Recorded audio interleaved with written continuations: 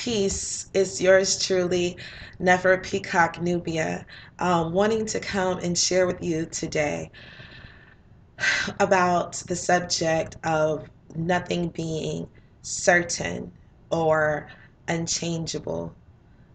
It's very important to grasp reality, and there is really only one supreme reality that the only thing that is really, really, truly eternal is unconditional love. And we are guaranteed that from ourselves and our Creator. And our Creator lives within us, sometimes as us, um, us being made in the divine image and likeness of that supreme being. With all due respect to the Creator that creates the sun, the moon, the stars, and all that is uh, I'm sitting here and reflecting on the fact that nothing is promised. No one is promised. Not your family, not your beloved, not your friends, not your job, not the fact that you'll wake up the next moment. Knowing this is the key to everything because it keeps you from being too attached to anything other than the Most High and that unconditional love, that spirit within you that is eternal, that goes from this existence to the next as mere energy transporting itself from one place to another. I fall in love hard. I have fallen in love a few times in my life and I give all of myself in those relationships that I have been in. And I found myself in the past getting attached to that person when that person or I am like, we'll be together forever. You belong to me. I belong to you. When all reality is that's not the reality. We belong to the Creator. We belong to ourselves. And even if you ever do get married or you are married, that person may not necessarily leave you or you may leave them, but that person may, quote unquote, pass away or go on to the next level, um, the next plane, um, into the spirit realm, or may manifest, if you believe into reincarnation, back into this realm but they will leave and they won't be there. Want somebody has to go first. So it's important to be in touch and intact with loving that person, but knowing that the only thing constant is change. So that when that person does move on, you're not left feeling empty, which is what happens to for a, really often people go into depression they never see them again. Sometimes it ruins their life sometimes they um, want to go on to the next stage so they take their own life you know? Staying in a higher vibration is what's most important in keeping us in touch with this reality you know?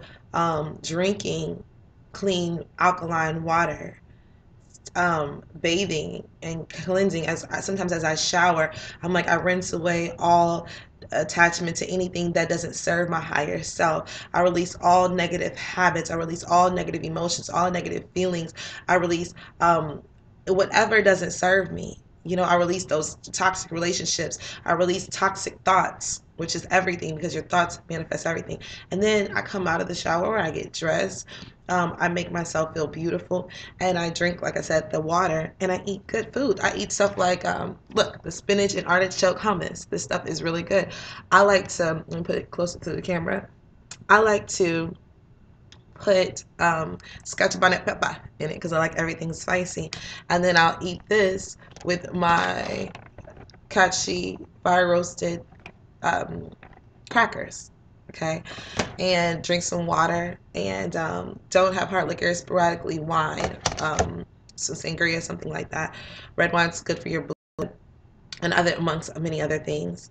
But just really staying on a higher vibration, making sure that I meditate on letting go and detachment, which is something that I learned through studying Buddhism.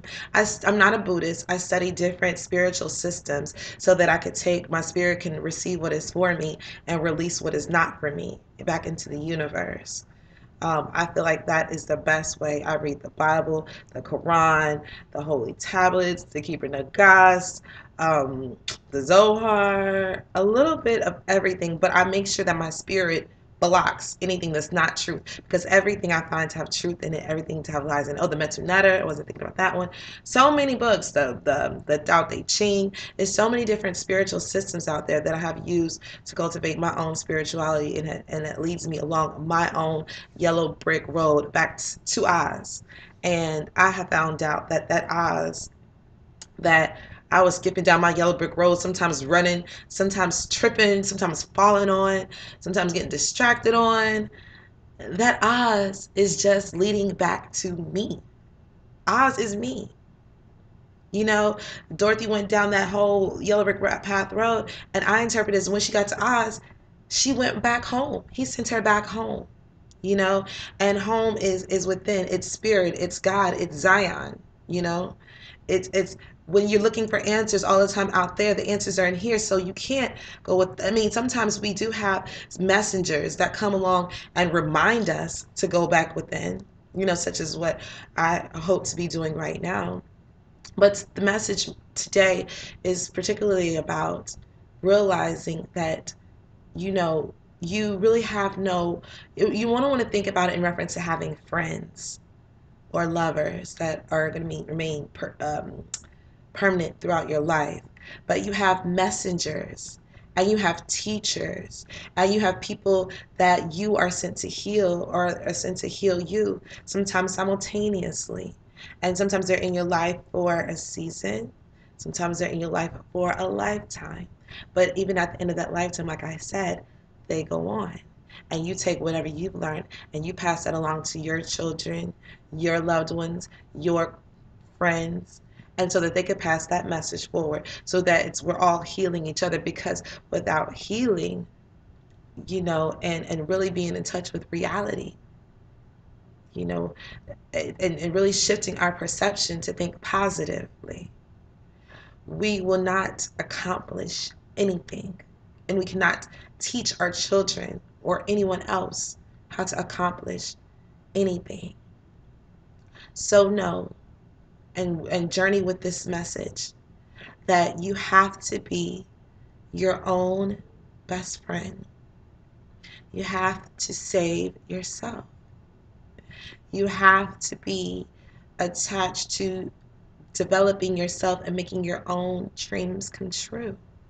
Because, like my father tells me often, well, he told me once before, and he used to have to tell me pretty often because I have a, a need and a desire to always want to help people. I would go out of my way to help them financially, go out of my way to help them in any kind of way, and I would feel depleted and drained.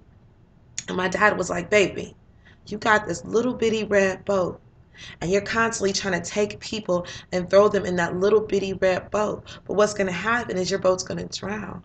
So you got to go across over until you get to the other side and you come back with that yacht. And then when you come back with that yacht, then you can help everyone. And then you could teach them how to get that yacht. Okay? So that's where I'm at, and that's where we need to be at. Knowing that by helping yourself and focusing on yourself, you're helping the world.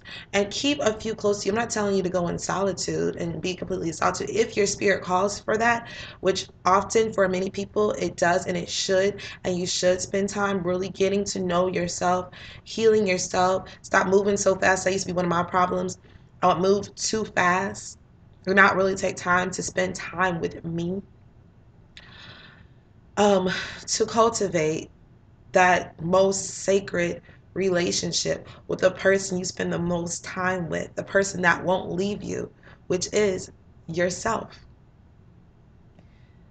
Again, the message today is to learn that there are no friends, no permanent lovers. There is only love yourself, and God. Be a be a gift to others. Be be compassionate with others, knowing that there are other spiritual beings having a human experience, really trying to figure out, you know, how to get through this thing because they weren't born with the handbook. Okay? And knowing that when they make mistakes to be compassionate with them and teach them how to be compassionate with themselves as you show them what the problem is in a, in a very loving way you'll see your relationships change and as you're more compassionate with yourself you'll be able to be more compassionate with others as well i love you lots of love lots of peace um, i hope that you all are detoxing um, preparing your relationships, yourself, your health, and preparing to bring in this spring is here. well, be here next week. Um, the spring equinox starts, and some, like I said, says that it starts um, the first new moon of spring, which is believes April 19th. Check that out. And I'll, of course, will be coming at you on my astrology astrology channel about the new moon. Be sure to check out um, also the Cooking Health and Wealth, Health is Wealth um, channel playlist as well. Um, I'm cooking up a lot of healthy stuff to teach you nice healthy recipes to make you feel higher because you eat better, you live better, you feel better. I promise. Okay?